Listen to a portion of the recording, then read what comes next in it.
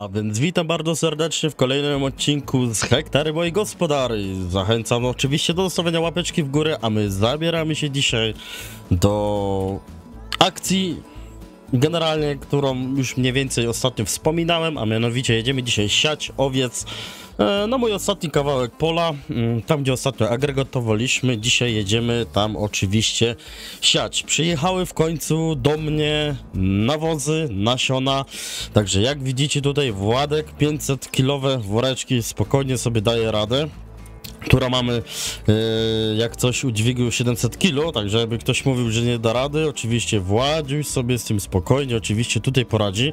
Ostatnio był sąsiad u mnie na usługach, wszystko fajnie, dogadaliśmy się, zapłaciłem oczywiście już mu, za to mu bardzo serdecznie dziękuję, za zasianie oczywiście kukurydzy, fajnie to wszystko tam, e, myślę, że zostało zasiane, ale jak zejdzie, tak się w sumie to wszystko okaże. Tutaj wam pokażę te zakupione oczywiście worki mm, nasion, nawozów, saletrosanu oczywiście oraz tutaj środek chwastobójczy oczywiście na te moje e, oczywiście tutaj pola. Ale to tak jak mówię, no wszystko tutaj na spokojnie. Jeśli by mi brakło, wiadomo się dokupi. Stan konta mój już jest taki trochę skruszony, no ale tak jak to się mówi, no no, są wydatki w gospodarstwie, więc trzeba tutaj jakoś w miarę starać się to wszystko tak zorganizować, żeby było dobrze. Także bez zbędnego gadania wsiadamy, jedziemy tam to dzisiaj zasiać, bo taki jest dzisiejszy oczywiście tego plan. Eee, także palimy oczywiście tą naszą gabarynę. I jedziemy. Gdyby mi nasion zbrakło, albo dowiozę sobie to Władkiem, ale prawdopodobnie przyjadę wtedy i e, nasypiemy z powrotem e, oczywiście na Zetora. Podnieśmy ten nasz poczciwy zestaw do góry, tylko moment, tutaj mi się... O dobra, tak jest git. Dobra, także lecimy, pędzimy na to nasze e, ostatnie pole. Mamy już tutaj podwieczór, ale myślę, że sobie tam trochę z sąsiadem się zagadałem, ale to tak jak wiecie, jak to jest, nie? Trochę o tym i o tamtym się porozmawia. I tak to wygląda. Oczywiście dziękuję za zostawienie e, tylu łapeczek w górę pod e, ostatnim materiałem, a my jak widzicie zabieramy się dzisiaj już za kolejny odcinek mm, z naszej tutaj pięknej serii, jaką to jest właśnie hektary z mojej gospodary. Odcinek już w sumie nagrywany czwarty, więc powiem wam, że tutaj te odcineczki, no fajnie, fajnie, podoba mi się to coraz bardziej e, wszystko, więc za niedługo tutaj będziemy brali się również za koszenie łąk, także będzie też tutaj kolejna akcja, nagrywanie, więc wszystko w, zobaczycie tutaj w swoim czasie. Oczywiście zachęcam jeszcze raz do zostawienia łapki w górę i hashtag siewy owsa. Możemy, albo nie, ostatnio był hashtag siewy. Możemy zrobić oczywiście hashtag zetor. O, zrobimy hashtag zetor, bo jakby nie było, tutaj Krystalik robi bardzo świetną robotę. Jest to jednak główny ciągnik, więc on tutaj większość tych czynności na gospodarstwie przejmuje na klatę ale tutaj sobie spokojnie radzi. Przyjemnie mi się tym ciągnikiem oczywiście tutaj pracuje. E, wiadomo, kiedyś w przyszłości kupimy coś nowego, ale to tak jak mówię, zobaczymy jak sobie ten sezon pozwoli. Ilu uda nam się zarobić tutaj z naszych upraw. Także to jest taka, e, wiecie jak to w gospodarstwie, nie wiadomo e, jak to będzie sypało, jak to wszystko to będzie, będzie oczywiście mm, wyglądało. My sobie tam, o, ale tam sąsiad jechał z Wixą, Dobra, tutaj jest, powiem wam, wam, ta polna droga fajna, bo szybciej idzie sobie skręcić, ale to jest taka zdradliwa droga, tam te krzaki chyba będę musiał wziąć i sam to wyciąć, bo na gminę to nie ma co czekać tutaj, nawet nie przyjadą, nie wytną tego. No ale tak to jest, tak to jest, kurczę, powiem wam, świetnie mi się tutaj na tej mapie gra, powiem wam, o, znowu jedzie Rysiek do sklepu, Rysiu, Rysiu, Rysiu. Nic nie jedzie, nie jedzie, mogę go wyprzedzić spokojnie. Rysiu gna już do sklepu po dostawę. No tak, sklep dzisiaj do 17 u nas tutaj, więc gna niczym kurde błyskawica. Zapas musi być. E, także tak jak mówię, no staram się tutaj, fajnie z tymi odcinkami na razie wychodzi. Jestem pełen tutaj pozytywnego nastawienia pod tą serię i myślę, że no kolejne tutaj odcinki również będą Wam się podobały.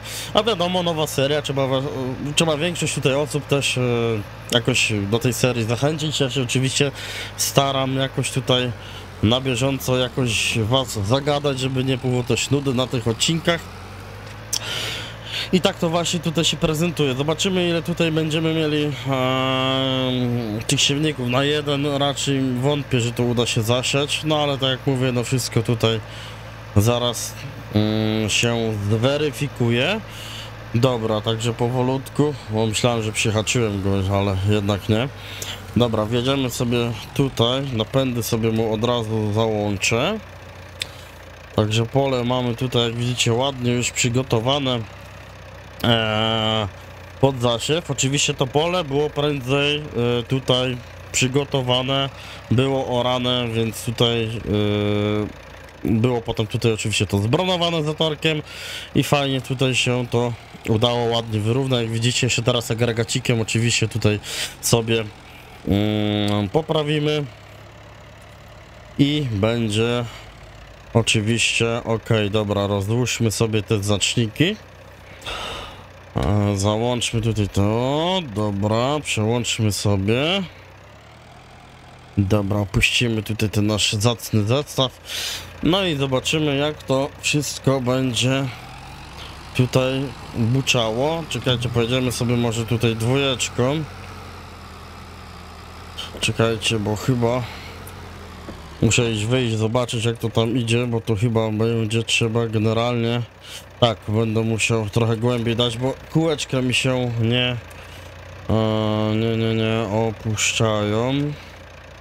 O, dobra, tak będzie ok. Cofnijmy sobie jeszcze raz do tyłu.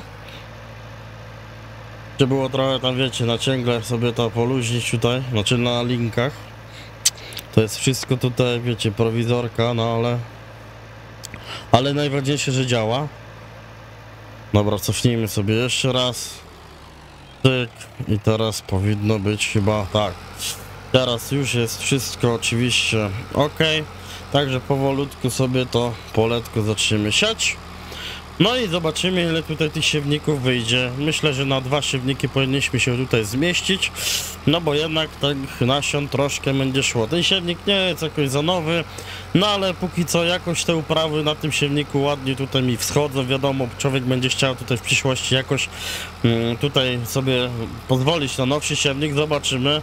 E, mamy tutaj nieopodal takiego handlarza, czasem coś tam sprowadza, jakąś daną maszynę, więc może też czasami być tak, że pojawi się na odcinku tam właśnie e, z jego tam tych e, posiadłości, które ma, te maszyny, które tam ma wystawione, więc możliwe, że zakupimy stamtąd w przyszłości jakąś maszynę, ale tak jak mówię, zobaczymy, bo najbardziej póki co planuję tutaj z rozrzutnikiem, byłem u niego, niestety nie posiada żadnego rozrzutnika, ma tam co prawda jakieś dwa siewniki, ale to powiem wam nie na moją gospodarkę, bo to już takie bardziej zagraniczne. Jednego wiem, że miał Amazona, drugiego niestety nie pamiętam, e, ale że tak to ujmę, niestety to nie jest budżet na moją kieszeń, który bym mógł sobie pozwolić, a jednak tutaj dla mnie na chwilę obecną E, najważniejszy jest zakup też tego rozrzutnika, no bo po żniwach ostro tutaj będziemy działać. No niestety, jeśli nie uda mi się zakupić, pożyczymy oczywiście od sąsiada,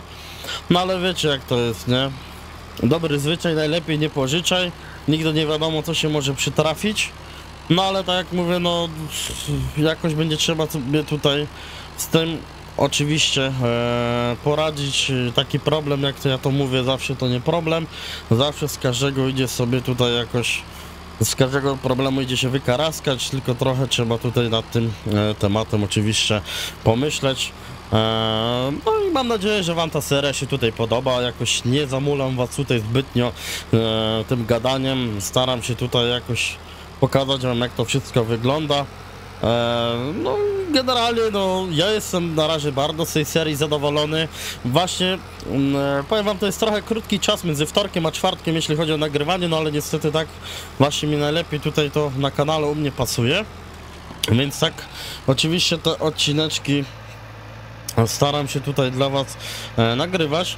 Powiem wam, kurczę, że tych nasion tutaj mi wychodzi, więc jednak będę musiał jeszcze dzisiaj na odcinku skoczyć po nasiona. No ale daleko nie mam na gospodarstwo, no daleko, no troszkę mam tego jechania, no ale nie będę tutaj e, pchał się Władkiem, e, żeby sobie e, go przyprowadzić. Mogłem wziąć rower tak naprawdę na agregat, sobie go położyć. E, Posiadam tam taką Ukrainę moją. Mogę go tak naprawdę tam po, położyć i byśmy sobie wtedy pojechali rowerkiem po Władimirca. Ale nie chcę już tym Władkiem po tych drogach się pchać, tym bardziej, że tutaj już mamy wieczór, wiecie, tutaj policja często jeździ. Tam mam trochę niesprawne jedno światło, muszę tam zobaczyć do instalacji, a mandacik bardzo szybko mógłbym tutaj przytulić, więc wolę nie ryzykować i przejechać się tym ciągnikiem i mieć wtedy święty spokój, że mm, tutaj jeszcze żaden mandat przynajmniej mi nie wleci. Jakoś to widzicie powolutku tutaj idzie. A sądziłem, że trochę więcej mi się uda. Ale to jest właśnie bardzo mały siewnik, bardzo mały tutaj ma zbiornik, ten Poznaniak, więc no wiecie, no jest jak jest, nic się na to niestety nie poradzi. Sorry za takie skupienie, ale muszę patrzeć, żeby mi tutaj dosiewało, żeby omijaków nie robiło. To prawda mam tutaj te znaczniki, ale tym znacznikom tutaj zbytnio nie ufam, bo to wiecie, to jednak już sprzęt nie pierwszej e, młodości, więc jakoś tutaj muszę sobie mniej więcej patrzeć na, na to, jak mam tutaj... E, opuściłem, opuściłem. Jak mam tutaj mniej więcej to posiane i tak staram się tutaj fajnie jechać. Powiem wam, ten free track ratuje mi tutaj tą sytuację właśnie z tym wychyleniem, to jest piękna sprawa. Kto się waha, powiem wam, polecam z całego serca. Ja mam akurat wersję e, nie Ear Tracka, tylko Free Tracka kupioną z Allegro, to prawda, ale działa. Mam ją kupioną na baterię, jakby ktoś chciał no to e, u mnie na kanale w zakładce informacji jest nazwa tego urządzenia podana, więc zachęcam naprawdę, dokupimy do tego akumulatorki, tak naprawdę mamy bardzo fajny tutaj sprzęt, a myślę jak ładowarkę do baterii teraz to każdy chyba posiada, więc nie jest to jakimś tam myślę też zbytnio problemem. Powiem wam kurczę, jednak na dwa siewniki, nie wiem czy mi się to polu uda, o tutaj małego omijaka zrobiłem, będę musiał potem wyjść w wiaderko jakieś sobie albo przejdę się i dosieję sobie tak ręcznie. W tą stronę jakoś tak wam powiem, jakoś to lipnie idzie. O, widzę właśnie tak nie dosiewa, no ale trudno, nic nie poradzimy. Będziemy myśleć już powoli nad wymianą tego sprzętu, no ale tak jak mówię, zobaczymy. To tak naprawdę ja fajnie tutaj mam to, że e, budując to gospodarstwo, tutaj mając te wszystkie swoje maszyny, nie jestem zadłużony w żadnym banku. To prowadzi do tego, że mogę sobie spokojnie ze swoich upraw prowadzić, oczywiście utrzymywać e, gospodarkę, ale jeśli będzie taki mus już naprawdę, że będę musiał jakąś nową maszynę kupić, jestem w stanie nawet parę tysięcy sobie tutaj myślę e, od banku wziąć, ale to mówię, to jest wszystko pod znakiem zapytania. Wiadomo, lepiej nie brać tych kredytów i żyć za to, co tu się na chwilę obecną posiada. No ale wiecie, jak to wszystko wygląda. Pierw zobaczymy, jak tutaj ten sezon e, pozwoli nam na rozwinięcie tego wszystkiego, ile będziemy mieli tak naprawdę pieniążków i wtedy będziemy mogli decydować na tym, czy e, kupujemy coś e, ze swoich, czy dobieramy z kredytu. No ale mówię, czas pokaże. Nie chcę już tak nic mówić na pochopnie, ale tak jak mówię, lepiej żyć bez kredytu, te oprocentowania, to wszystko, no to jednak tutaj trochę człowieka może e, pogrążyć. No ale jakoś myślę damy radę. Mamy te krowy, tutaj znaczy te krowy, cielaki zakupione. A w przyszłym sezonie będę planował już powoli tutaj jakąś sadzareczkę sobie na jedno, w przyszłym sezonie. W tym sezonie kupić jakąś starą sadzarkę e, pod wytorka i parę tam, nie wiem, jedno, dwa poletka sobie mm, ziemniaczków oczywiście też e, zasadzić. Z tego względu, że nie dość, że dla siebie, to oczywiście też dla e, świnek czy na sprzedaż. Zawsze jakoś to. O, czekajcie, bo mi się nasiona chyba skończyły, będę musiał jechać. Dobra, pojedziemy sobie na gospodarstwo. Może uda mi się to na jeszcze jednym siewniku ogarnąć, ale to zobaczymy. Złóżmy sobie oczywiście tutaj te, ten sprzęt. O, elegancko. Dobra, także my skoczymy sobie na gospodarstwo, zasypiemy sobie. Tam we Władku mam jeszcze na chyba jeden właśnie siewnik, ale nie boję się, bo mam oczywiście tam jeszcze trzy big bagi, kupiłem trochę więcej. Nie brałem za dużo tych worków, no bo mówię, kurczę, nie było to najmniejszego sensu. Będę miał swoje potem zboże, to sobie je zaprawimy elegancko i nie będę musiał tutaj przynajmniej nic kupować. Więc to też będzie jakiś tutaj oczywiście tego plus. No i tak to się tutaj oczywiście prezentuje. Dobra, wyjedziemy sobie tu powoli na tą drogę. Światła lepiej zapalimy, może jedne, bo powiem wam, że tutaj to strach. Strach jeździć o takich godzinach, tutaj jakiś nowy jest dzielnicowy i powiem wam bardzo tutaj taki szorstki człowiek. No ale nic nie poradzimy, no. Wiadomo jak to w życiu bywa. Dobra, powoli sobie tutaj postaramy się wyjechać, wolne, wolne. I jedziemy. Także powolutku, daleko mówię, nie ma, kawałek się przejedziemy. E, Widzicie, ostatnio na odcinku tak naprawdę tam robiliśmy te poletko, dzisiaj znowu jest kontynuacja. E, Nie robiłem z tego tak e, timelapsa, bo chciałem wam pokazać w sumie jak tutaj będziemy siać, jaki tutaj ten sprzęt oczywiście posiadam, który w sumie wam prędzej przedstawiłem na pierwszym odcinku tutaj z tej serii. No ale mówię, no sami widzicie jak on sieje, nie jest to profesjonalny sprzęt. Robi trochę omijaków, ale to nie jest też nowa maszyna, więc y, nie ma tutaj się co też w sumie mm, dziwić, że to tak wszystko wygląda. Ale no, jakoś ogarniemy temat i weźmiemy sobie tutaj coś, będziemy planowali kupić choć troszkę nowszego, ale to tak jak mówię, to są na razie plany. Tu jest dużo planów, ale gorzej oczywiście tutaj jest z wykonaniem tego wszystkiego, bo tak jak mówię, no troszkę tych pieniążków na koncie oczywiście, troszkę tych pieniążków na koncie trzeba trzymać, a jak wiecie, no ciężkie czasy, trzeba jakoś sobie oczywiście tutaj e, tym jakoś e, tym budżetem prosperować w taki sposób, żeby tak jak prędzej tam wspominałem, nie wyzbyć się do zera, bo potem będziemy mieli mały problem. Czy to na paliwo trzeba mieć pieniążki, czy na jakieś inne tutaj oczywiście rzeczy. No ale bez zbędnego gadania wracamy, wracamy, nasypiemy sobie, jeszcze wrócimy dzisiaj na pewno na odcineczku. Może uda nam się to w sumie zasiąść, najwyżej będzie znowu trochę dłuższy odcinek, ale to nic nie szkodzi. Przynajmniej ogarniemy sobie na spokojnie to wszystko. I wy będziecie zadowoleni. Ja będę przede wszystkim zadowolony, że kolejna praca tutaj zrobiona. Mm, W sumie, wiecie co, stanę tam na poboczu, albo jak mi się uda, to na koniec wam pokażę, jak są te pole zasiane. Choć na razie, wiecie co, chyba, chyba sobie to odpuszczę. Najwyżej na kolejnym materiale bym podszedł tam i pokazał, jak już to wygląda. Może już do tego czasu zdąży wykiełkować, fajnie wyrosnąć lekko. No to wtedy będziecie widzieli, jak to się oczywiście prezentuje. Dobra, skręcamy na tą naszą piękną gospodarkę. Tam dużo osobom się ta gospa podoba, powiem wam, mi również oczywiście się bardzo mega podoba. Dematix to jednak jest e, fakt w ręku.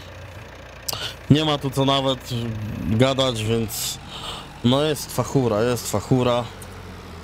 Dobra, tutaj sobie tak weźmiemy. Myślę, że będzie ok. Nie będę go nawet gasił, bo to będzie szybka akcja. Wysiądziemy sobie. Odpalmy tą naszą gadzinę tutaj. Już ostatnio widzieliście przy wapnowaniu, jak sobie tutaj radzi dobrze ten traktorek, więc powiem wam na te moje e, potrzeby. Tylko czekajcie, bo tu mam taki patent, że muszę na samym końcu. O, ten tur wam powiem, to tak szybko reaguje, że to jest hit. Tu mam na patencie to zrobione, bo na samym końcu widełek tak naprawdę ja to muszę trzymać. Kurczę, mi się zsunęło trochę, ale dobra. Może jakoś sobie tutaj nasypiemy, żeby tam nie pogiąć nic, bo kurczę, problemów sobie na... O! Dobra. Wlazło wszystko.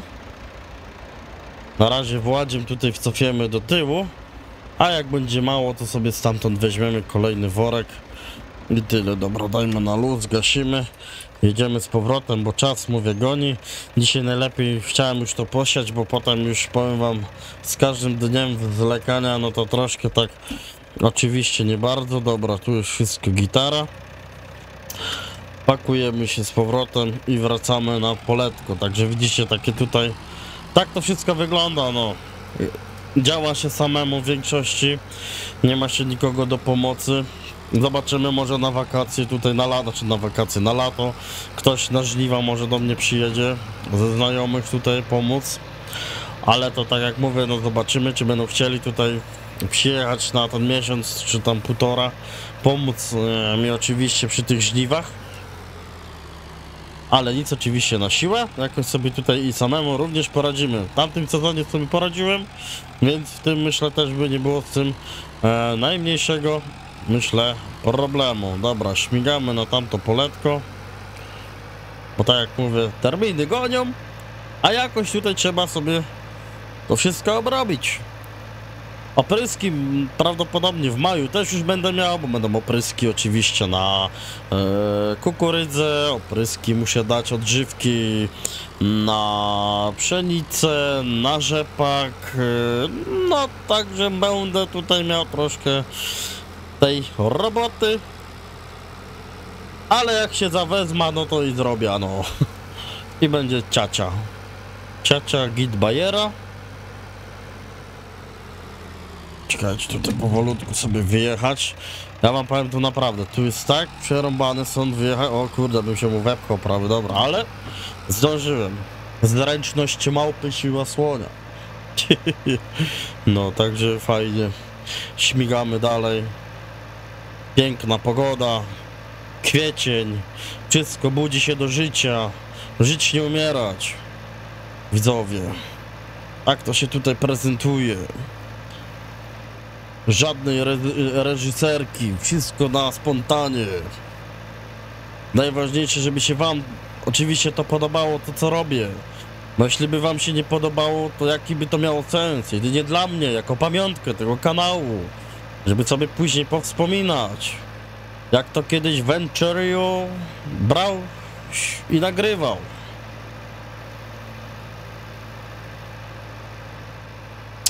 Tak więc zawsze to coś, nie? Powolutku zaraz tutaj skręcamy. Migaczyk, elegancko, fyk. I wjeżdżamy, za chwilę będziemy, no mówię, no trochę mam oddalone od gospodarki.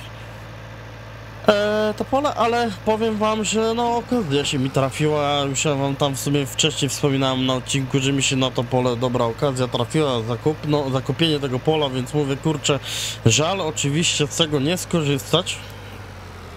Żal oczywiście z tego nie skorzystać, więc mówię, tu nie ma, nie, nie ma się co nawet zastanawiać. Już wam nie będę tam mówił, w jakich dokładnie to pieniążkach się udało, ale powiem wam, byłem zadowolony. Nie zdarli tutaj ze mnie Bóg wie ile pieniążków. Dobra, tutaj sobie damy tak. Puścimy. Czekajcie, o.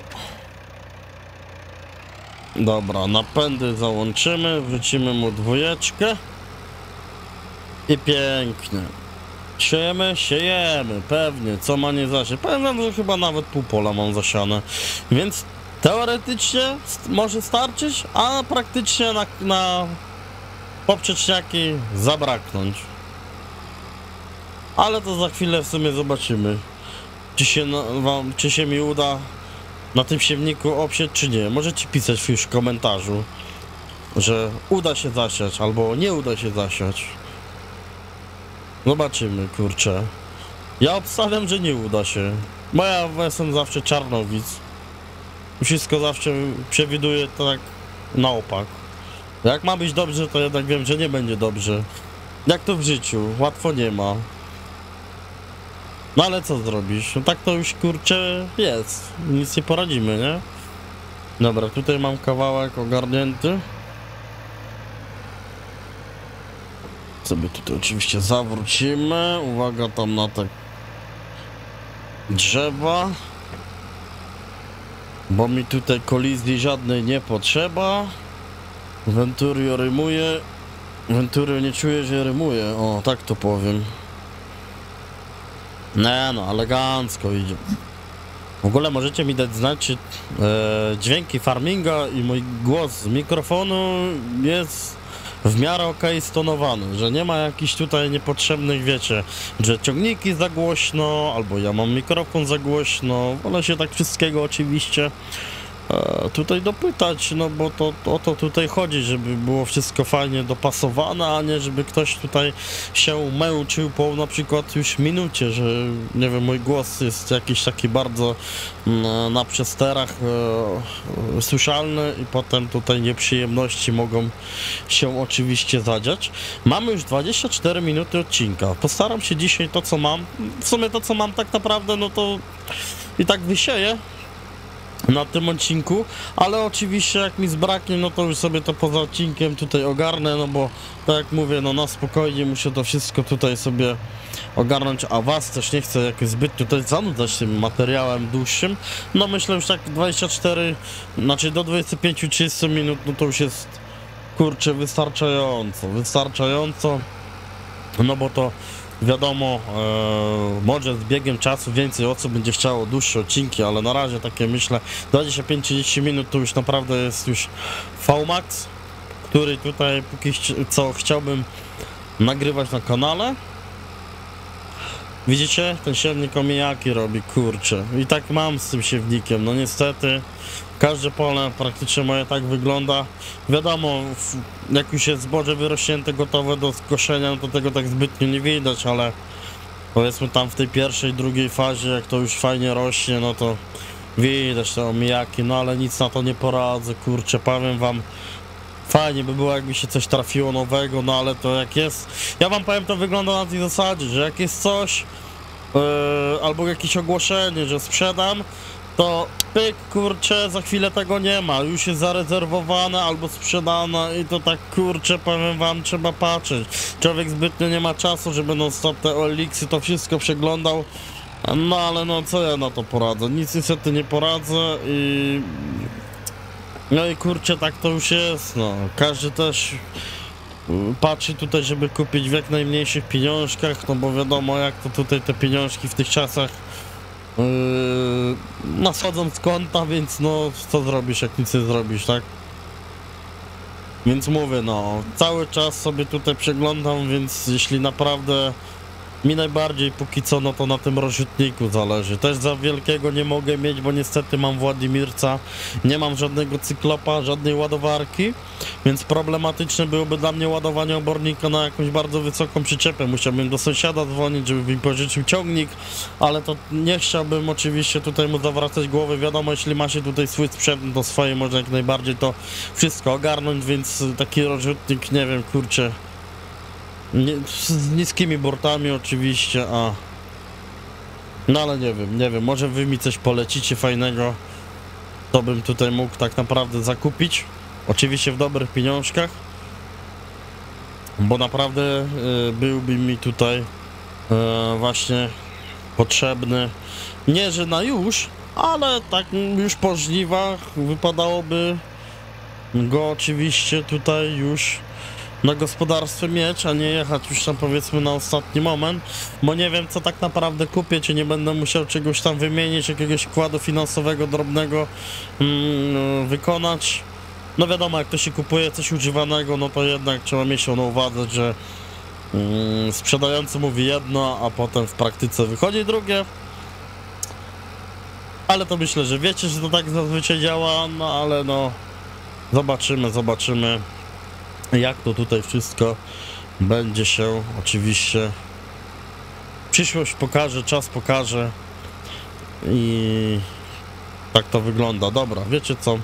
Przejedziemy sobie tutaj kawałek do przodu i będę powoli tutaj ten materiałek już kończył dla Was i dokończymy sobie to e, oczywiście poza odcinkiem. Dobra, zatrzymamy się tutaj na chwilę. Dobra, weźmiemy go na luz, nie będziemy... O kurczę. Niepotrzebnie go gasiłem, niech sobie pyrka. Rozgrzany. No, także tak jak widzicie, tak się to prezentuje pole tutaj, no jest troszkę tam omijaków, no zobaczymy jak to wzejdzie, jak to będzie wyglądało, ale myślę, że ten zestaw nie jest zły, ale wiadomo, mógłby być zawsze troszkę lepszy. Dobrze widzowie. Także serdecznie dziękuję, że dotrwaliście do końca. Mam nadzieję. Także zachęcam do zostawienia łapeczki w górę. Widzimy się już w kolejnym odcinku. Więc To by było na tyle. Do usłyszenia. Na razie.